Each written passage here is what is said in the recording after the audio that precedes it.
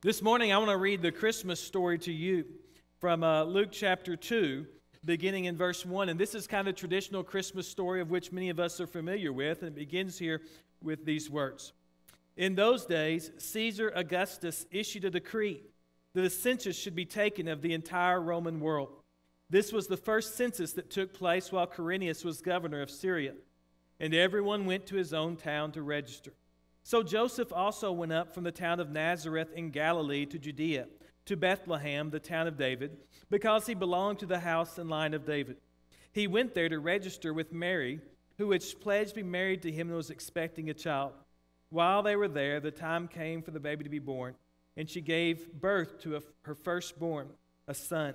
She wrapped him in cloths and placed him in a manger, because there was no room for them in the inn. You know, that's the story with which many of us are so familiar, and it's, it's such a beautiful story. It's, it's such a, a cute story in so many ways, and we've just got, uh, when we read the story, we have visions of little porcelain nativity scenes in our minds as we read about that first Christmas so long ago. We even write songs about, so many songs have spoken about that, great Christmas songs that we sing over and over again. Silent night, holy night, all is calm all is bright.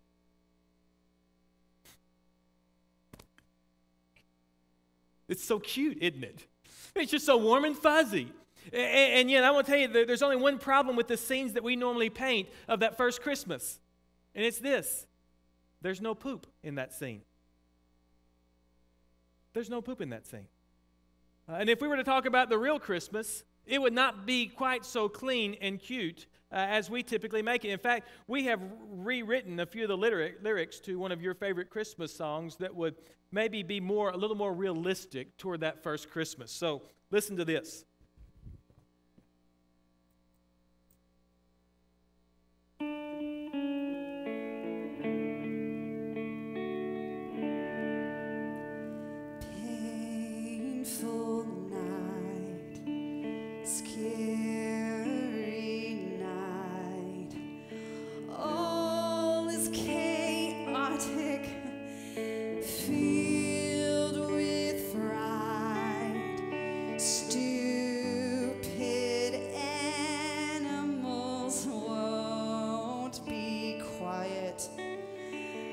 stay.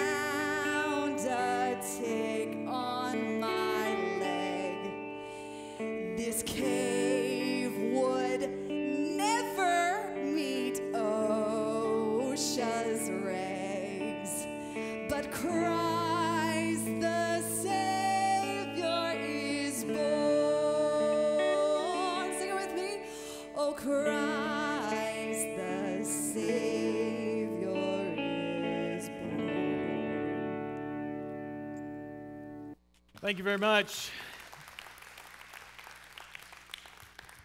it almost seems wrong, doesn't it, to do that to Silent Night. And yet, that's the truth. When we talk about that first Christmas, listen, it wasn't a porcelain nativity scene Christmas. It was chaotic, it was messy, and it was scary. And when we read the scripture, the scripture doesn't say those things, but all the kind of things that we typically envision about uh, about Christmas, that first Christmas we come, we picked up from these songs we've written that, that make it sound like it was oh so sweet and cute when it was anything but that. We have these pictures of that first Christmas of, of a lamb gently nudging Jesus' cradle, rocking it to a steady beat of a baby that never cries. And that's not how it was. Here's the Christmas story Caesar was about to place an unfair tax burden on the Jewish people. And so he's forcing everybody to leave where they live and to go back to the places where they come from.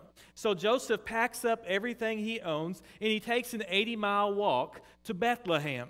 He, he takes along Mary with him, who's a young teenage girl who he's betrothed to, but not supposed to have had relations with yet. And yet everybody can see that she is already pregnant, uh, and they have already endured much scorn and much condemnation. They go together, they take this 80 mile walk to Bethlehem, and when they get there, Mary goes into labor. They look for a place to stay, but they can't find any place to stay. The only place they can find is a barn like cave place. It was probably more like a cave than a barn. It was a place where people kept their animals. It was nasty, it was stinky, it had dung on the floor. It was a place where they kept animals. And when the baby was born, uh, they placed him in a cow feeding trough, someplace none of us would ever dream of placing a newborn infant. It wasn't clean, it wasn't sterile. It was the only place she had to place him. She didn't place him there because it was cute, because it fit a little porcelain nativity scene. She put him there was because the only place that she had. There was no doctor, there was no epidural. Listen, I've been there when two, two babies were born to my wife, and she had an epidural, but I will tell you, it was still not a silent night.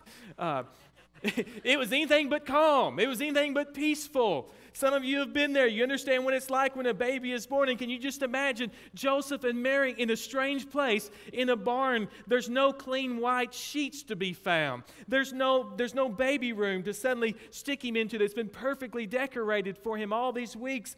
This, it's this chaotic, messy scene into which Christ is born. Anything but what we typically have envisioned Christmas being like for most of us. Jesus left paradise. Jesus left heaven, that Jesus left, left the Father. I mean, the wonder and the majesty of, of heaven where, where angels are singing constantly, praising God all the time, 24 7, that place where it's just filled with beauty and light. Jesus left all that and he plopped down right into the middle of a great, big, scary, chaotic mess. That's what that first Christmas was like. For most of us, that's anything, anything uh, but like our Christmases are today. I mean, think about how much energy you and I spend on making the perfect Christmas. I mean, we spend a lot of time and energy trying to make Christmas perfect, don't we? We hit the mall. I mean, there were people at the mall yesterday. It was filled with people at the mall yesterday shopping for the perfect gift. I'm thinking, why are these crazy people here? I mean, who would go to the mall on the Saturday before Christmas? It was crazy. That was the silliest thing I've ever seen. You know, and yet we shop and we hit the stores to find the perfect gift. We go to the, the grocery store to find the perfect turkey. We walk these huge lots filled with trees to find the perfect tree that won't look really silly when we bring it home and put it up with that curved trunk. Listen, we, we, we do all these things. We, we make people in our houses, we make them clean and scrub and vacuum so that we can have a perfect house when company comes over, so that we can have a perfect Christmas. But when Jesus came, when Jesus came, it was anything but perfect. Is anything but. Jesus plopped down into the middle of that great big mess. He didn't come into a perfect situation. Uh, and unlike you and I, Jesus chose where he would be born. Most of us, we didn't have a choice about it. Wherever we were born, we were just born there. Jesus had a choice about how he would be born. He could have been born to the wealthiest man uh, in Bethlehem or Jerusalem or whatever. He could have struck down Herod and been born in the palace. Jesus could have been born in Superman's ice castle. if he had wanted to. He could have chosen to be born anywhere. He, had, he could have chosen to skip infanthood altogether. He could have skipped the diaper rash and the mashed up vegetables that probably aren't that good. He could have skipped it all. But he didn't. Jesus chose to be born in Bethlehem, in a cave, a place that was built for animals, and to be put in a cow feeding trough. And it was no accident that he was born there. For it fits perfectly with the mission of Christ.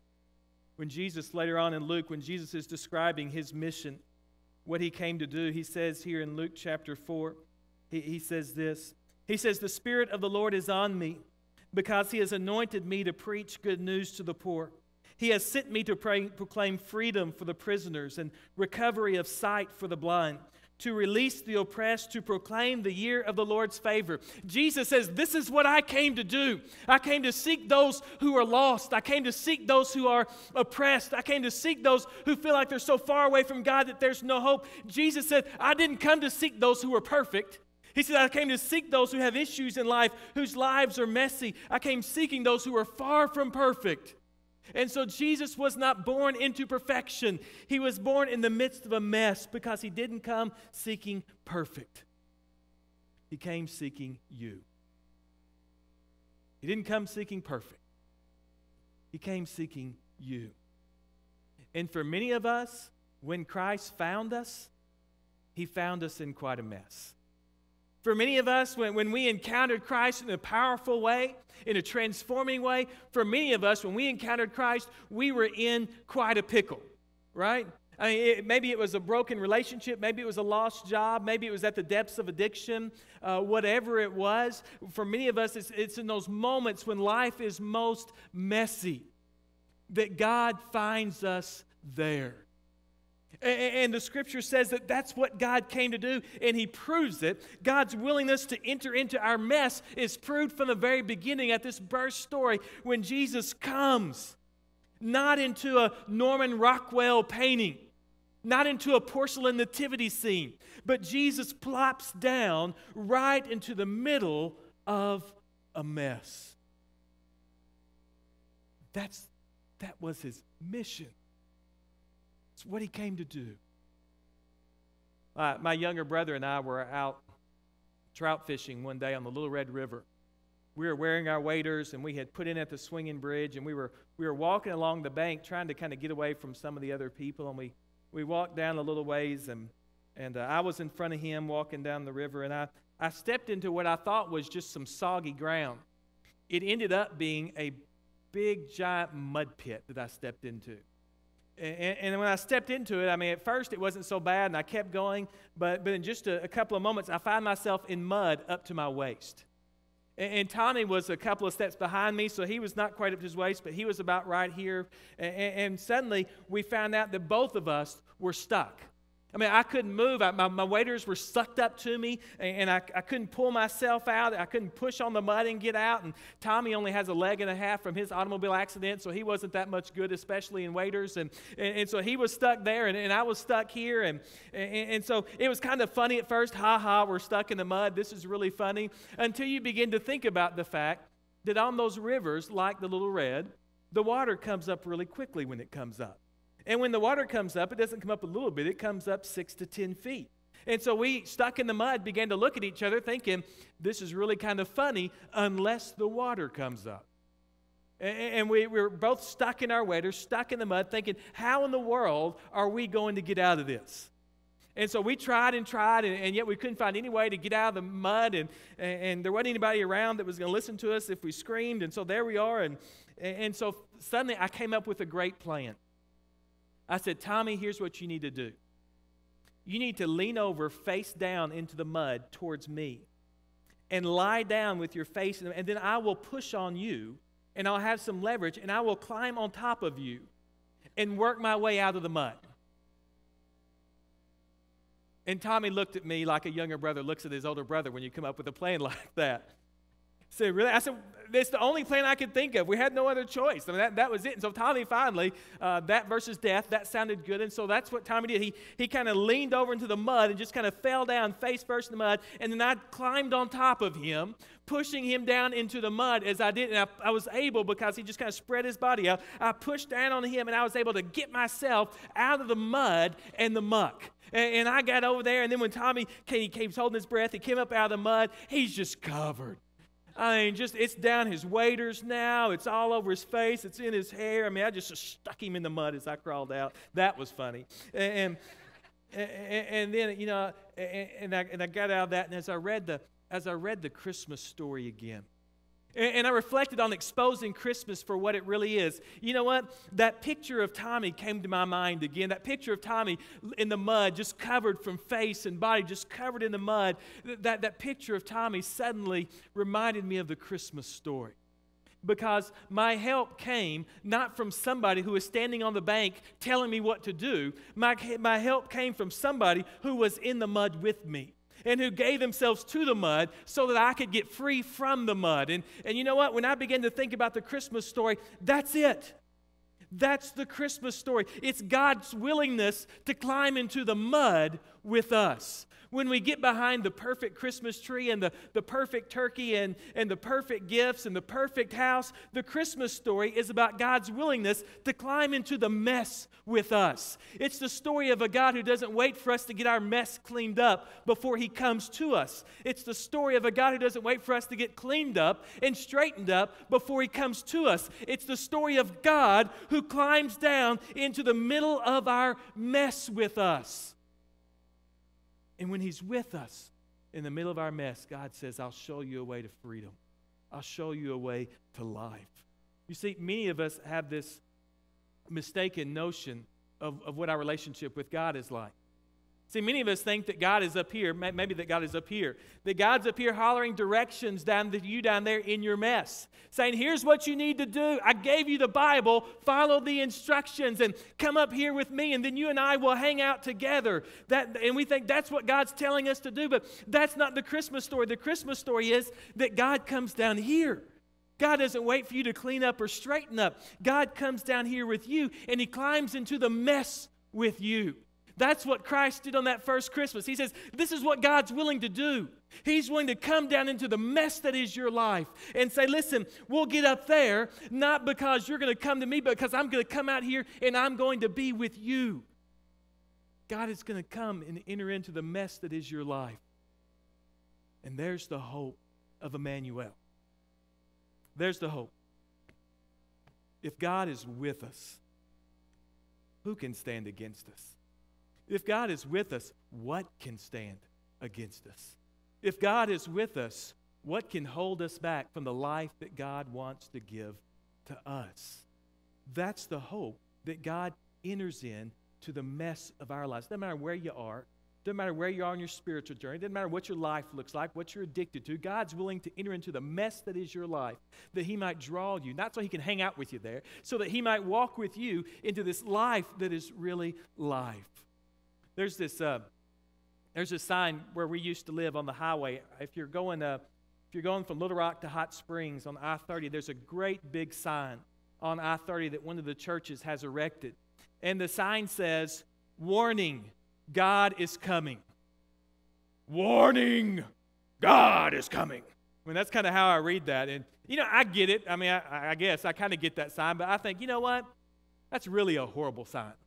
Uh, it, it, it seems like it makes the coming of God a threat. And you know what the sign ought to say? Instead of saying, warning, God is coming, the sign ought to say, rejoice, God is here. God is here. God has entered into the mess of your life.